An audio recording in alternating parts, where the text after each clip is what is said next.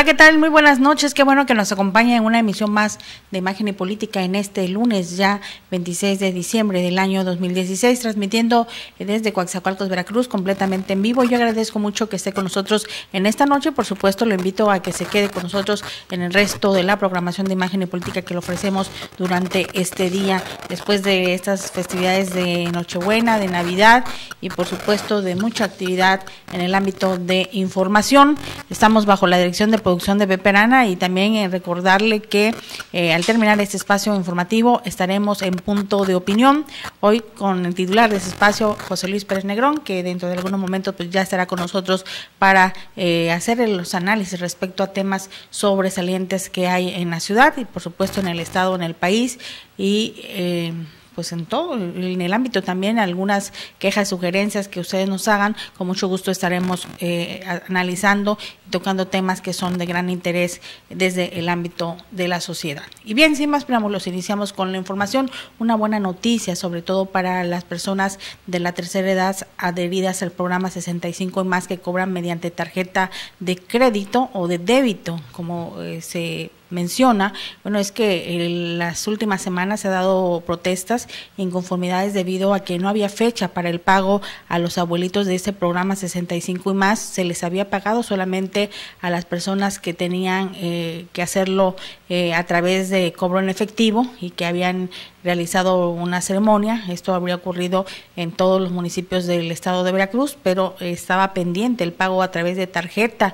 Eh, hoy la Secretaría de Desarrollo Social, a través de las ventanillas de módulos de atención que funcionan de 8 de la mañana a 2 de la tarde, dieron a conocer colocando un cartelón en donde explicaban que estos pagos serán eh, hasta finales de este mes, es decir, tentativamente se harán el próximo 31 de diciembre a los abuelitos de este programa 65 y más. Si usted sabe de alguno de ellos, si usted, eh, pues su papá, su abuelito está incorporado a este programa que consiste en otorgarles de manera mensual o bimestral este pago, pueden eh, informarle que este será el próximo 31 de diciembre y eh, será en ese horario de 8 a 2 de la tarde. Se espera que ya estén en las tarjetas el pago respectivo y de esa manera pues se habrá concluido ya eh, este problema, estas eh, denuncias, quejas que había en los diferentes módulos en el estado de Veracruz. No hay dinero, esa es la verdad, y por tanto es este atraso en el pago de las pensiones a los abuelitos del programa 65 y más que cobran, aclaro, a través de las tarjetas bancarias. Y bien, por otro lado, fíjese que durante más de dos semanas estuvo un joven conocido solamente con el nombre de Alejandro, cuya familia, de acuerdo a los datos que tenemos y, gracias a las personas que hoy nos compartían la información, vive en la colonia eh, de aquí, de lo que es eh, la entrada del mini el cero, Lázaro Cárdenas. Este joven pues está eh, afectado de algún problema neurológico, pero ha permanecido durante más de dos semanas a la interferie ahí sin probar alimentos, solamente lo que los vecinos le daban, lo ayudaban, eh, hacía sus necesidades fisiológicas ahí, en la calle Lerdo, el número 520, donde antes funcionaba una, una área de la logia masónica, pero ahora ha quedado pues una casa abandonada. Este joven recibió el auxilio de la Cruz Roja Mexicana, también de elementos de la Secretaría de Seguridad Pública que acudieron primeramente a estar presentes ahí a eh, recibir a recibir eh, la información. después se hizo el llamado a Cruz Roja, lo cual agradecemos porque nadie hacía caso. Esa es la verdad. Dos semanas ahí abandonado, eh, nos decían que sus familiares lo habían buscado. Las redes sociales que hoy eh, observamos que están para eso, realmente para hacer enlaces de ayuda, de ayuda humanitaria, eh, no están solamente para eh, tomarnos la foto bonita, sino también para que usted para que nosotros podamos contribuir a tenderle la mano a una persona. Eso es lo que pasó con Alejandro y gracias.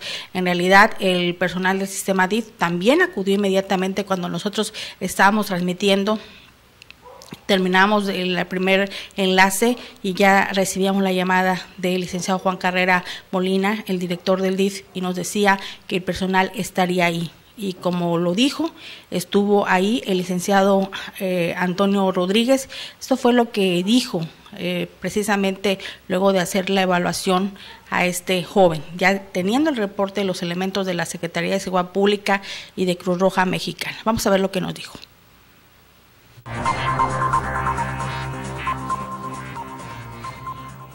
Estaremos al pendiente, sí, de parte del DIF. ¿Las instrucciones le son en ese sentido con el Ya las instrucciones ahorita ya por parte del señor procurador, de la señora Cristina, el licenciado Juan Carrera, es trasladarlo al hospital para su valoración. Sí, es lo más importante, su salud, que nosotros no somos médicos. Gracias, licenciado.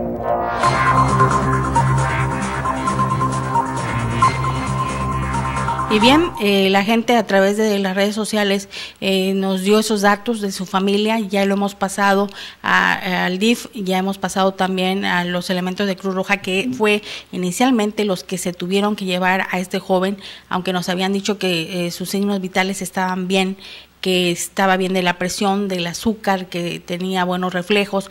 Eh, lo cierto es que presenta un problema neurológico. Nos decían que vive eh, por este rumbo de la colonia Lázaro Cárdenas eh, con su hermano, porque sus padres fallecieron ya hace algún tiempo y él es conocido como el, sobrenombre del Chúntaro, pero su nombre es Alejandro X. Así es de que, bueno, si usted tal vez lo conoce, su vecino, sabe de su familia, dígale que él fue llevado a la Cruz Roja eh, después, posteriormente, el personal del DIF se haría cargo de él, pero sí era necesario, como nos decía el licenciado, que se pudiera tener conocimiento de la familia para que una vez ya eh, con autorización de la familia se pudiera prestar la ayuda necesaria, en ese caso la ayuda, eh, atención médica que requiere, porque él presenta un problema neurológico y eso es lo más importante que se atienda. Gracias a los elementos de Cruz Roja, gracias al personal de DIF que estuvo ahí y que atendió este llamado. Por supuesto, es obligación, pero qué bueno que hoy lo atendieron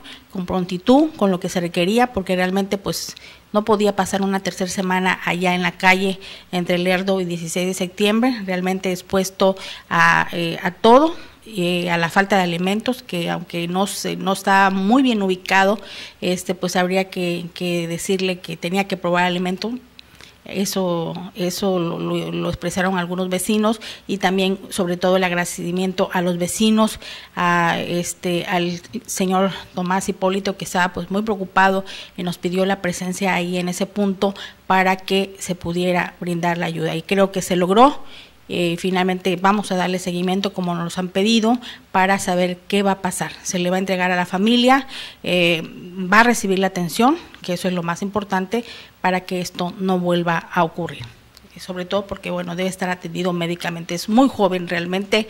Eh, se requiere la ayuda. Sabemos que quizá la familia no pueda tener el recurso, pero ahí están los organismos que pueden brindarle la ayuda necesaria a este joven de aproximadamente unos 25 o 30 años de edad, nos decía ahí el personal de Cruz Roja, conocido como Alejandro, que gracias a los vecinos de la calle de Lerdo, entre Allende y 16 de septiembre, por supuesto, estaremos muy al pendiente. Y por, eh, por otro lado, también de lo que hay que estar pendiente, es el de manejo que, eh, que se tendrá de los explosivos el próximo 31 de diciembre con la quema del viejo. Hoy platicamos con el titular de Protección Civil, el doctor Juventino Martínez Reyes, hizo llamado a los padres de familia por un lado, a evitar que sus hijos quemen cohetes. Pero si no lo puede evitar, cuídelos. Esto fue lo que dijo.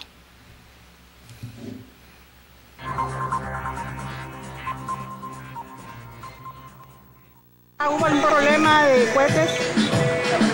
No, no, no hemos tenido ninguna notificación, reporte de algún problema con los cohetes, tanto allá en, el sitio donde se expenden como en casas particulares que haya habido alguna persona lesionada, quemada por el uso de estos algún operativo? Eh? Sí, sí, hemos realizado operativos tanto en el centro como en la Francisco Villa, en el mismo centro de coteros, y sí se han visto que hay gente que vende cohetes en forma clandestina. ¿Se ha decomisado producto? Sí, se ha decomisado productos, se ha decomisado productos entre los que son cohetes menores, no hemos encontrado palomones u otros mayores hasta ahorita. No quiere decir que no los haya, pero se sigue en la búsqueda. Doctor, la recomendación a los padres de familia, a los ciudadanos. Lo ideal es no quemar cohetes, para no quemar, enseñar a los niños que quemar cohetes puede responderlos antes de, que se quemen. Y solo hacemos que lo hagan bajo cuidado de ellos, la supervisión es que no, avienten los cohetes adentro de la casa, abajo de los automóviles. Con el fin de año hemos visto que acostumbran que el paso de los vehículos tirando los cohetes no lo hagan porque pueden provocar un grave accidente. Los mismos niños, los adultos mismos nos podemos quemar. A la hora de quemar, de podemos quemar las manos, puede afectar la vista, la parte del cuerpo, la cara. Que tengan mucho cuidado con el uso de estos dispositivos. Gracias.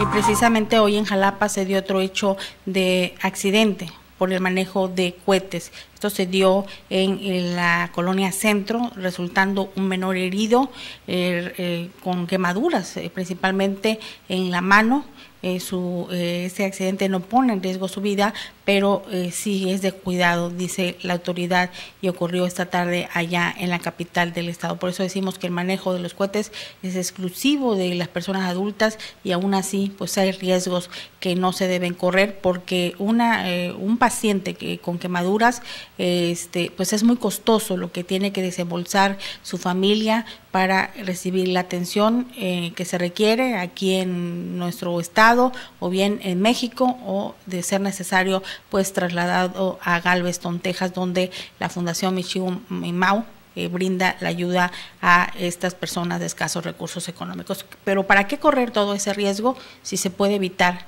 la quema de estos cohetes que son pues ya vimos, muy, muy, eh, que están afectando, que está causando eh, graves daños a muchas familias, sobre todo las que pierden a sus seres queridos. Por otro lado, en Chicago se han registrado hechos de violencia que ya llevan un saldo de 11 personas muertas y 41 personas lesionadas. Todo esto se debe a la proliferación de más de 10 pandillas del lugar.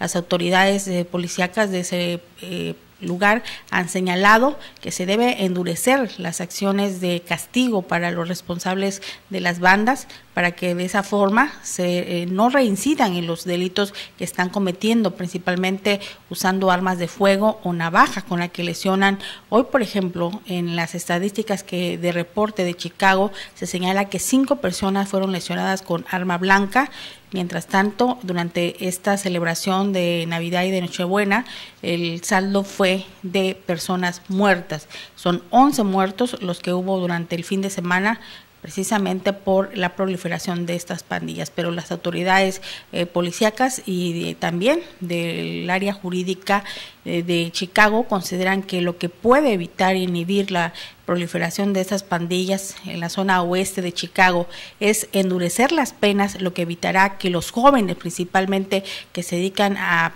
o están perteneciendo a estas bandas puedan ser eh, pues seguir cometiendo esta clase de delitos que son desde asaltos, robos a transeúntes y hasta casas habitación. Pero la autoridad de ese lugar considera que para evitarse sería la primera acción el endurecimiento de penas. Así es que, bueno, así lo consideran.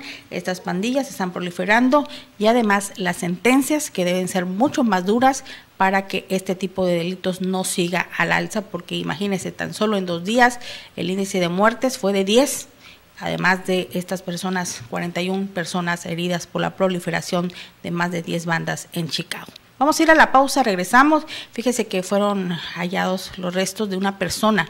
Esto ocurrió en Rabón Grande. Parece ser que es el tripulante, copiloto, copiloto de esta avioneta Cessna. Regresamos.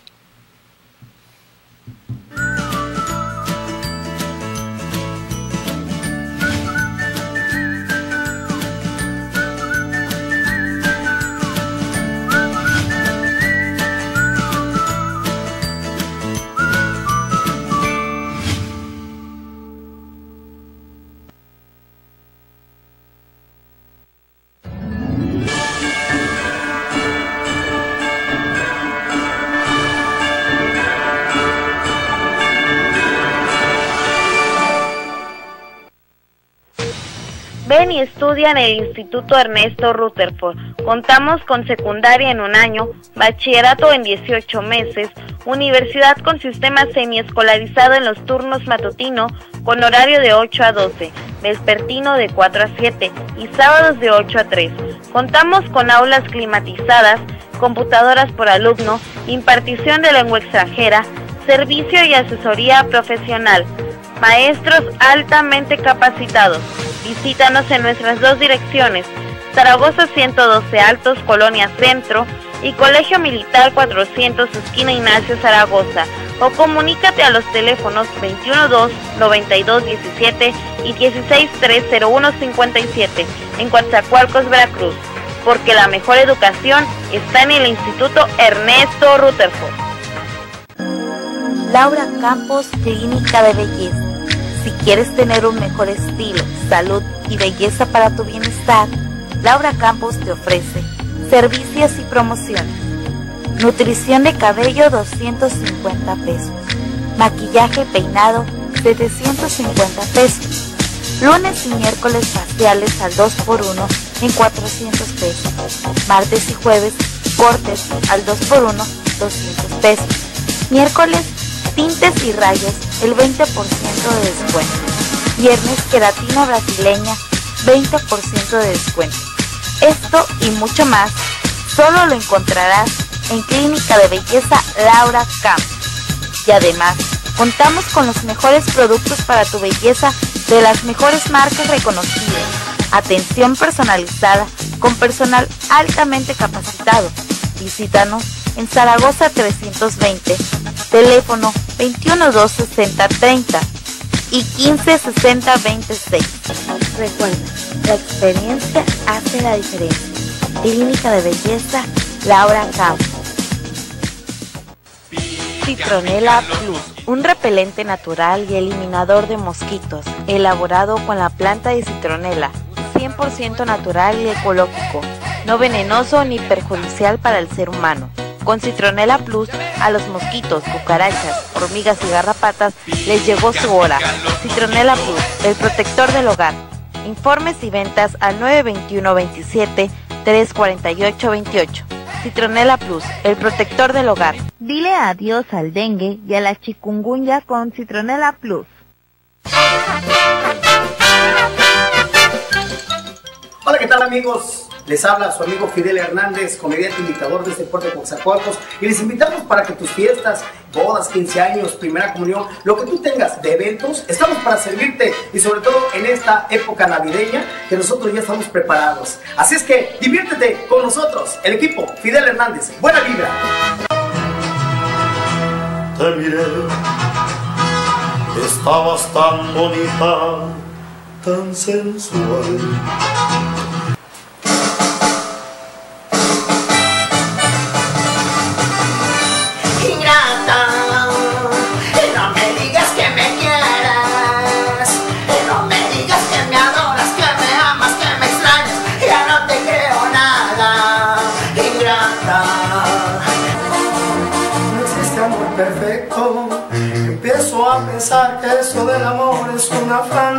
No, me la creo, que tú ya no te acuerdes de todas las veces que te hice mía. Y todavía no existes, que olvide tu sonrisa y borre de mi mente todas tus caricias. Ella existió, solo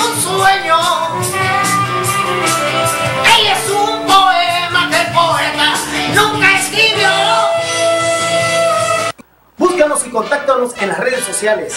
Facebook, Instagram, Twitter y YouTube. Ahí estamos para ti y sobre todo diviértete con los videos. También mándanos un WhatsApp 921 27 046 45. Estamos para servirte. Buena vibra.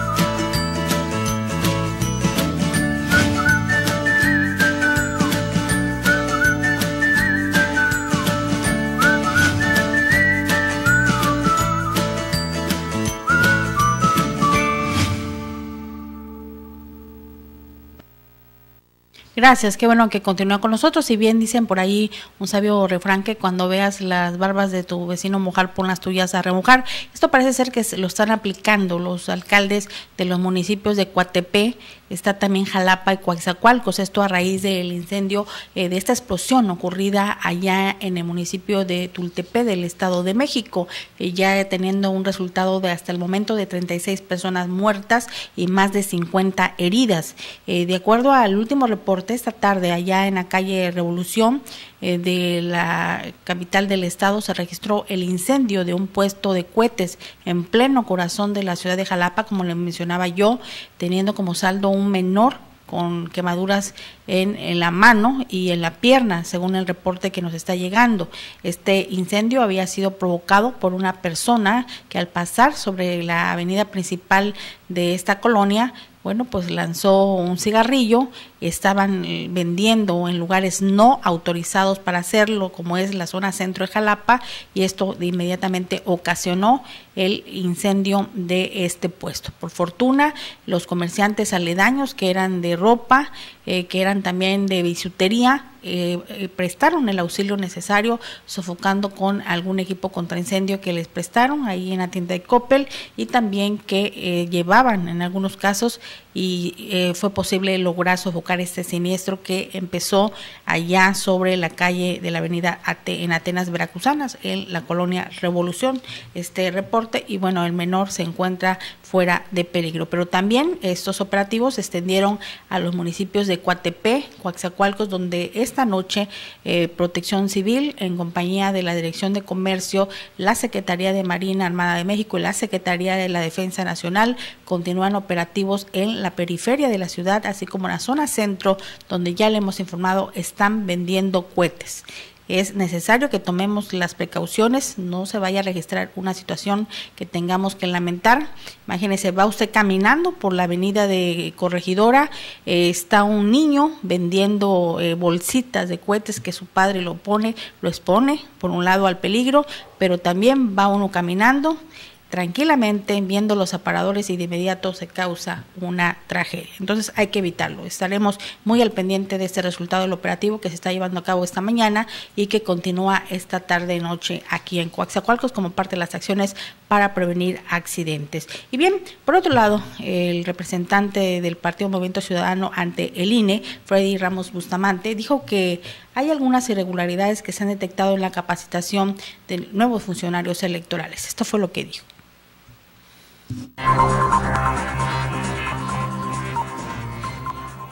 Tuvimos una reunión de trabajo Ajá. para ver lo de la capacitación electoral, porque habían algunos problemas en cuanto a la calidad de la capacitación. Se hizo la reunión con el vocal eh, de la Junta Distrital, el encargado de la capacitación. Tuvimos un resultado y el 18 de enero vamos a tener una reunión con los supervisores electorales. ¿Por qué hay esa de deficiencia? Es lo que estamos tratando de, de identificar porque en los, en los procesos del 2014 y el 2015 eh, Coatzacoalcos fue uno de los distritos con más bajo nivel en cuanto a la participación de los funcionarios de casilla.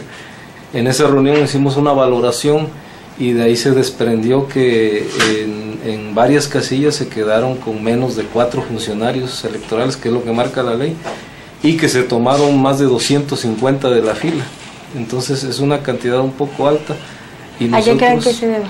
Pues hay varios factores. Eh, eh, por la misma información que nos ha proporcionado la Junta, es que a veces han llegado los partidos políticos a, a, ofrecerles dinero a los funcionarios para que no se presenten el día de la jornada electoral. Es un fenómeno recurrente que existe aquí en Coatzacoalcos. Y el otro este factor puede ser la mala capacitación que esté dando la Junta Distrital. Eso es lo que estamos tratando de determinar en estas dos reuniones que, que se van a llevar a cabo. Y bueno, en, en, lo referente a la capacitación, ¿podrían entrarle a reforzarla o, o, o qué más se puede hacer? Eh, lo que se puede hacer es este, reforzarla definitivamente.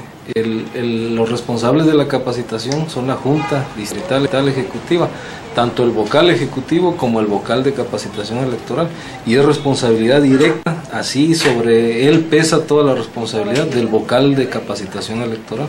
Entonces vamos a ver la calidad de la capacitación que se le está dando a los funcionarios y si ese es el problema pues necesariamente se tendrá que reforzar y por eso es la reunión con los supervisores porque ahí tenemos que detectar nosotros qué es lo que falló en el proceso pasado y en el anterior también y ahí tenemos que tomar ya los acuerdos necesarios para evitar que vuelva a suceder.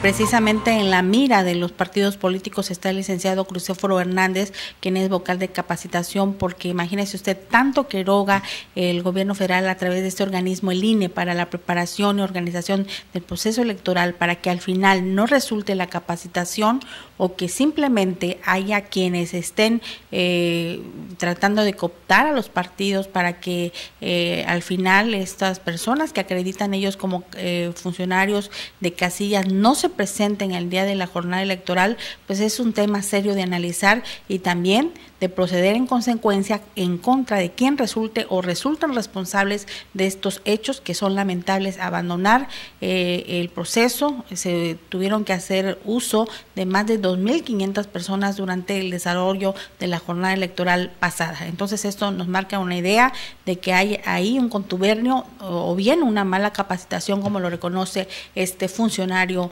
de el, como representante del Partido Movimiento Ciudadano ante el INE. Estaremos también al pendientes de qué es lo que pasa y si se procede o no en contra de este vocal de capacitación, el licenciado Crisóforo Hernández. Y por otro lado, fíjese que esta mañana se dio la voz de alerta en las playas de Rabón Grande habría sido encontrado un cuerpo, una persona del sexo masculino que vestía, eh, tenía ahí eh, pantalón negro, eh, tenía una camisa negra de acuerdo a algunos testigos del lugar que daba cuenta que podría tratarse del piloto o copiloto de la eh, avioneta Cessna que habría salido procedente de Mérida, Yucatán, con destino al puerto de Veracruz de la empresa Promesa. En esa avioneta viajaban cuatro personas. Se trataba también de una mujer eh, inicialmente se habría dicho que eran los cuatro, eran hombres, no, resultó ser una joven de 18 años de edad que también eh, habría perecido en este fatal accidente ocurrido hace una semana.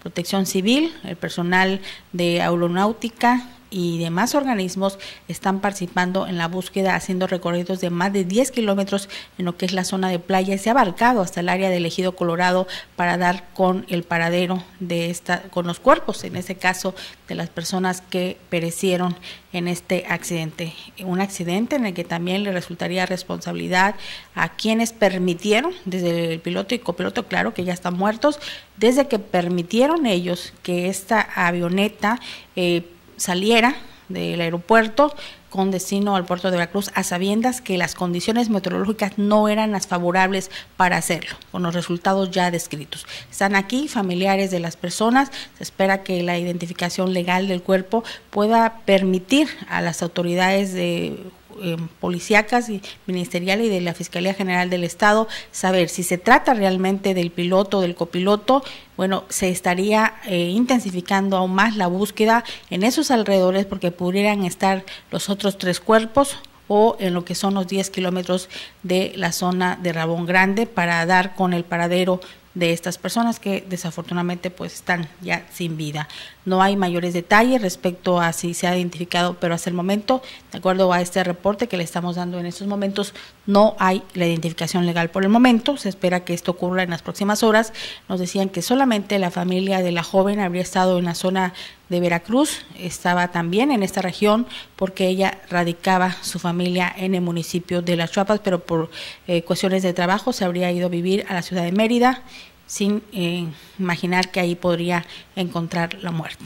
Tan joven, 18 años de edad, estaba laborando en esta compañía Promesa que prestaba sus servicios eh, al área industrial en la venta de insumos, pero desafortunadamente sufrió un accidente. Así es que, no, pues este hecho ya está reportado, ya le hemos dado ahí algunas imágenes sobre este cuerpo hallado en la zona de playa de Rabón Grande. Y por otro lado, pues eso debe ser una buena noticia para todos nosotros, eh, sobre todo porque hoy en una declaración que hizo el gobernador Miguel Ángel Yunes Linares, habló claro y fuerte, sobre todo contundente respecto a las acciones que podrían resultarle a quienes serán eh, o podrían ser responsables en torno a la toma de las instalaciones Yuribia. Eso parece ser ya va a terminar.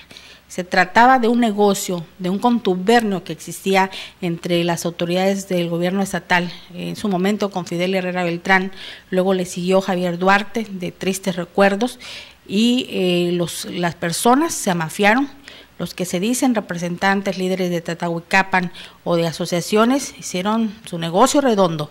El gobierno del estado le entregaba la suma de 2 millones 500 mil pesos para que no tomaran las instalaciones del acueducto Yuribia, para que permitieran que el agua llegara a los municipios de Coaxacualcos, Menatitlán y Cozolecaque, pero pues la gente, el pueblo que estaba molesto, en ocasiones no le hacía caso a esos líderes que han perdido eh, sobre todo poder y al final resultaba que sí se dejaba sin agua a la población, el gobierno tenía que darle a esos líderes esa suma de dinero, dos millones quinientos mil pesos. Pero bueno, hoy en conferencia de prensa el mandatario veracruzano dijo que esta red de complicidad, esto que es un chantaje vil, eh, entre autoridades y eh, agentes ejidatarios de Tatahuicapan, pues llegó a su fin. No se pagará ni un solo quinto. Habrá sanciones penales a quien se atreva a tomar las instalaciones del acueducto Yuribia, y así lo ha hecho ver. No, es, eh, no estamos en contra o ante un reclamo de obras, estamos ante un chantaje que fue solapado por el entonces gobernador Fidel Herrera Beltrán y también por Javier Duarte de Ochoa. Esperemos por el bien de los veracruzanos, por el bien de la gente de la región sur, que esto no vuelva a ocurrir, que no se presenten situaciones que eh, chantajeen, que van a tomar el Uribia, que la gente tenga que pagar las consecuencias de carecer del vital líquido durante, ¿qué, ¿qué le parece? 12 o tres semanas y que esto se convierta en un caos desde hospitales, restaurantes y demás y que la autoridad no pueda hacer nada. Parece ser que ahora sí habrá mano dura. Eso esperamos. Lo diremos hoy con esta fecha 26 de diciembre, la declaración que dio el mandatario Miguel Ángel Junior Linares, que posteriormente esto se acabe. Ya estuvimos eh, la semana pasada aquí en este espacio de punto de opinión con el titular de CEMAPS, Rafael Abreu Ponce, y bueno, nos decía que no eran acciones que pudieran ellos eh, o decisiones que pudieran ellos tomar, pero parece ser que ya la ha tomado el gobernador Miguel Ángel Yunes Linares y esto va en serio. Entonces estaremos muy vigilantes de que en realidad eso ocurra. Vamos a ir a una pausa, la última de este espacio, y les diré en torno a qué pasa con Javier Duarte. Dos llamadas telefónicas lo han delatado, pero no ha sido detenido.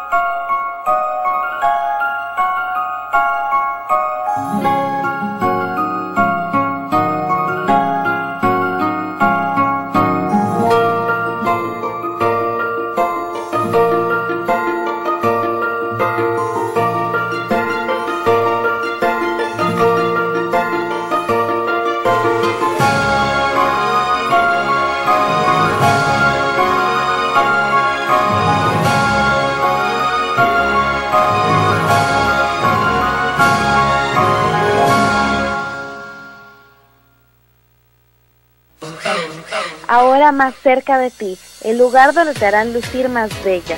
Es Clínica de Belleza Laura Campos Cuadro, donde encontrarán cortes de cabello, tintes, peinados, maquillaje, depilación, limpieza facial, venta de productos para tu belleza, masajes, manicure y pedicure, atendidos por personal altamente capacitado, porque la experiencia hace la diferencia. Clínica de Belleza Laura Campos, Visítanos en Plaza Cuadro, Coatzacoalcos, Veracruz. Citas al teléfono 210-6488. Ven y estudia en el Instituto Ernesto Rutherford.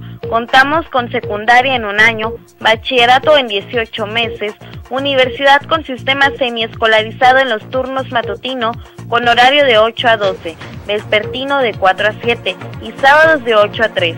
Contamos con aulas climatizadas computadoras por alumno, impartición de lengua extranjera, servicio y asesoría profesional, maestros altamente capacitados. Visítanos en nuestras dos direcciones, Zaragoza 112 Altos, Colonia Centro y Colegio Militar 400, esquina Ignacio Zaragoza. O comunícate a los teléfonos 212-9217 y 1630157 en Coatzacoalcos, Veracruz. Porque la mejor educación está en el Instituto Ernesto Rutherford. Citronela Plus, un repelente natural y eliminador de mosquitos, elaborado con la planta de citronela, 100% natural y ecológico, no venenoso ni perjudicial para el ser humano. Con Citronela Plus, a los mosquitos, cucarachas, hormigas y garrapatas les llegó su hora. Citronela Plus, el protector del hogar. Informes y ventas al 921 27 348 28. Citronela Plus, el protector del hogar. Dile adiós al dengue y a la chikungunya con Citronela Plus.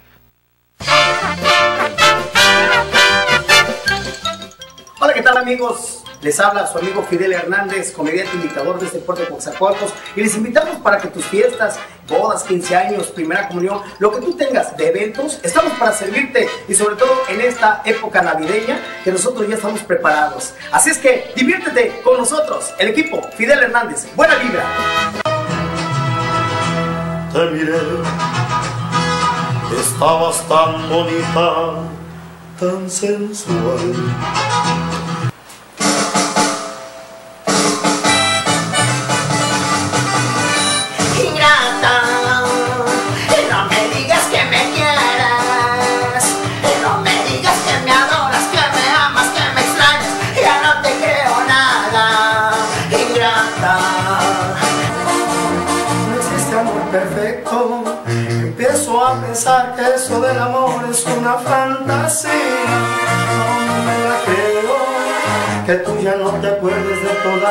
Veces que te hice mía.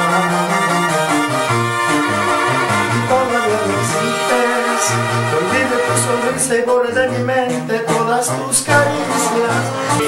Ella existió, solo en un sueño. Ella es un poema que el poeta nunca escribió.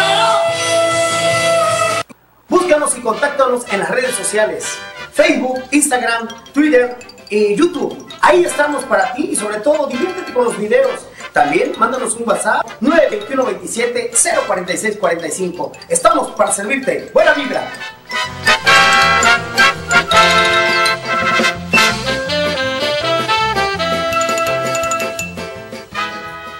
¿Estás cansado de temores, vicios, problemas familiares que nadie te comprende?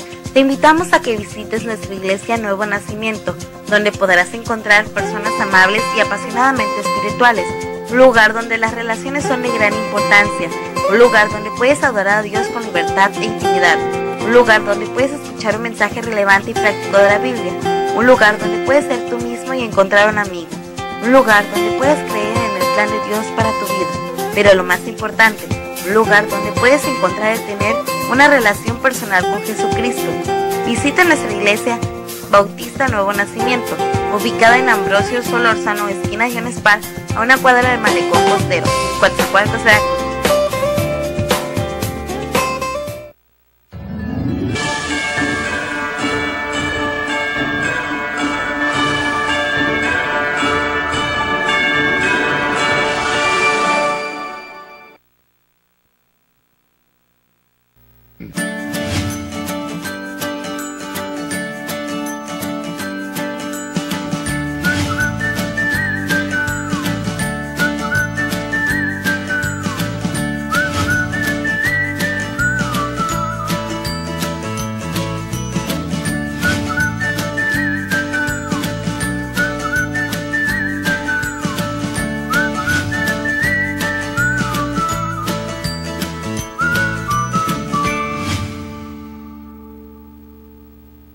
Gracias, qué bueno que continúa con nosotros en una información que es relevante, sobre todo para los ayuntamientos del estado de Veracruz, es el hecho de que a partir del 2 de enero las participaciones federales arribarán a los ayuntamientos. Esto a través de la Secretaría de Finanzas y Planación se estima eh, que sea un monto de, eh, cercano a los 2.100 millones de pesos, 500 eh, millones serán depositados a los ayuntamientos y esto es, forma parte del presupuesto del año 2017 que tendrá un incremento del 5 esto se anunció el día de hoy, luego de que autoridades estatales se reunieran con eh, funcionarios de la Secretaría de Finanzas y Planación, desde el área de tesorería hasta la Secretaría de Finanzas y por supuesto también con autoridades del gobierno federal para responder así también a las interrogantes sobre tres líneas de crédito que se abrirán para el estado de Veracruz, lo que permitirá hacer los pagos correspondientes en dos partidas, una que corresponderá al 30 de diciembre y otra más al 6 de enero. Así es de que parece ser que los problemas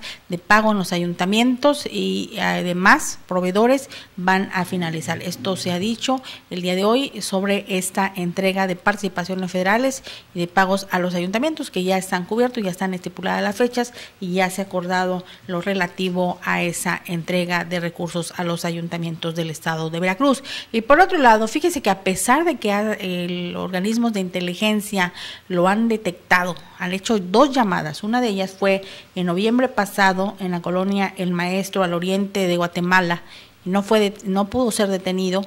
Otra más se dio hace una semana allá en Costa Rica en un exclusivísimo hotel del Red Intercontinental de Costa Rica pero tampoco pudo ser detenido. Cuando las autoridades de Costa Rica llegaron eh, para hacer eh, formalmente la notificación de que sería arrestado por ser buscado por las autoridades de la PGR en México o en Veracruz, pues resulta ser que pudo huir. Se trata del exgobernador Javier Duarte de Ochoa, quien así ha podido evadir la acción de la justicia con documentos falsos, dice la autoridad de Costa Rica, quien ha boletinado a todo el pueblo, a todo Costa Rica, de que se encuentre, si se encuentra, sea eh, hecha la denuncia correspondiente para que pueda ser detenido, pero hasta el momento no ha podido eh, ocurrir ello. Sin embargo, la autoridad considera que está huyendo en países de Centroamérica y lo hace a través de documentación falsa.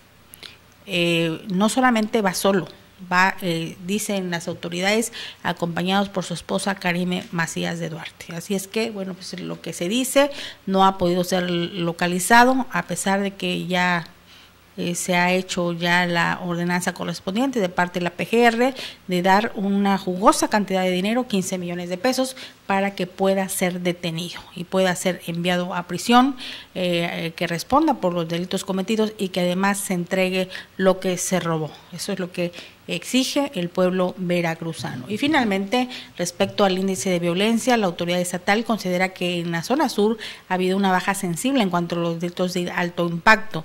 Sin embargo, los operativos eh, para evitar el índice de violencia que se incremente eh, se va a mantener de manera permanente, dijo la autoridad. Eh, también extenderán sus operativos de vigilancia en la zona centro del estado, en los municipios de Orizaba, Córdoba, la zona de Iztazochitlán. También estarán en la zona de Amatlán de los Reyes, donde también la violencia se ha recrudecido en las últimas semanas, dijo en un comunicado la Fiscalía General del Estado. Los eh, hechos de violencia, principalmente los delitos de alto impacto, son los que predominan en ese sitio. Hoy, por ejemplo, en el municipio de Catemaco también se registraron dos ejecuciones. Se trata de dos eh, sujetos que fueron encontrados asesinados y estos hechos habrían ocurrido durante la madrugada en, una colonia, en la colonia Nistacmalapa del municipio de Catemaco. Se trataba, dice la autoridad, de dos eh, presuntos miembros de la delincuencia organizada que habían tenido enfrentamientos con bandas similares. Se trata del Pachís y otro más, el Juguero, de 20 años de edad, desafortunadamente fueron ejecutados por bandas rivales y ya está la autoridad investigando eh, también ha reportado que dos personas fueron eh, puestas a disposición de la autoridad del juez que lo reclamaba en el penal de Pacho Viejo por delitos con delincuencia organizada. Así es el resumen del índice de violencia que dice la autoridad que ha bajado drásticamente en el municipio de Coaxacualcos, la zona de Minatlán también, donde se reporta una baja sensible. Sin embargo, por otro lado, Observatorio Ciudadano asegura que los delitos están en un índice del 102% según este informe de Observatorio Ciudadano Nacional. Entonces, ¿a quién le creemos? Bien, usted puede tener su mejor criterio. Bien, nosotros llegamos así a la parte final de ese espacio informativo, agradeciendo mucho el favor de su atención, que nos haya acompañado en esta tarde-noche. Invitamos para que se quede dentro de algunos momentos, estaremos en punto de opinión. Como todos los lunes, nos acompaña José Luis Pérez Negrón, titular de ese espacio. Eh, a través de Imagen y Política, todo bajo la dirección de producción de Peperana. Y yo lo invito para que mañana martes, en punto a las 7 de la noche, esté con nosotros con más noticias. Gracias. Hasta luego, muy buenas noches. Cuídense mucho las carreteras, tomen precauciones. Eh, si va a manejar, procure no tomar, no distraerse. Si va a permitir que sus hijos quemen cohetes, pues vigílelos para evitar ser parte de las estadísticas que son pues, realmente lamentables. Los números son, son cuantiosos en el estado de Veracruz. Gracias, muy buenas noches.